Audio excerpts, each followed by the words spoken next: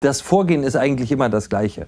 Die äh, terroristischen Ziele in Gaza sind den israelischen Behörden und Geheimdiensten relativ umfangreich äh, und detailliert bekannt. Das heißt, es gibt für solche Situationen, wie sie sich heute Abend äh, dort in dramatischer Geschwindigkeit entwickeln, äh, natürlich vorbereitete Pläne mit Zielen, die man angreifen kann. Einerseits zur Vergeltung als klares Zeichen, aber andererseits eben auch, um die Hamas-Führung so unter Druck zu setzen und so quasi in ihre Verstecke und Bunker zu zwingen und von Kommunikation und Entscheidungen abzuhalten, dass man damit weitere Angriffe auf Israel verhindern kann. Und das ist das, was jetzt äh, gerade äh, mutmaßlich äh, äh, in der Residenz von Benjamin Netanyahu in Jerusalem mit dem engsten Kreis, mit dem sogenannten Sicherheitskabinett, äh, dem National Security Kabinett besprochen wird. Welche Ziele wollen wir in welchem Umfang in Gaza jetzt angreifen. Wie gesagt, erstens, um ein klares Zeichen zu setzen, um Vergeltung zu üben, aber vor allem, und das ist viel wichtiger,